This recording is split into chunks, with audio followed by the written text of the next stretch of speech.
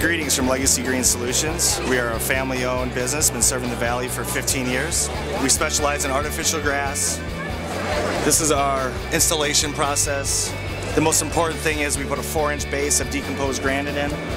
The turf goes down, and we have an infill system that goes on top, and that's our artificial soil. So this drains and breathes like natural grass. The nice thing about the artificial grass in the desert is we're saving our resources, the water, the mowing, the fertilizing.